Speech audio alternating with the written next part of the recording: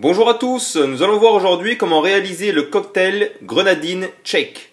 Il nous faudra 1 centilitre de jus de citron, 2 centilitres de jus d'ananas, 2 centilitres de sirop de grenadine, un blanc d'œuf, de la limonade et des glaçons.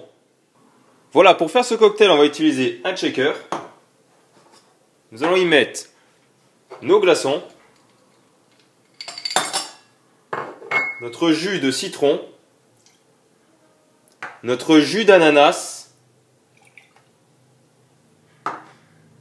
notre blanc d'œuf et notre sirop de grenadine. On referme bien, puis on frappe énergiquement. Voilà, ensuite dans un grand verre, on verse notre mélange.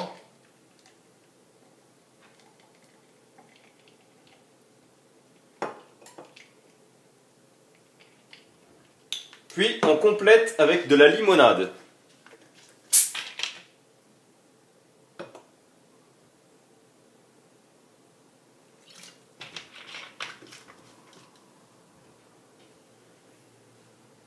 On obtient ainsi le cocktail grenadine tchèque. À bientôt, au revoir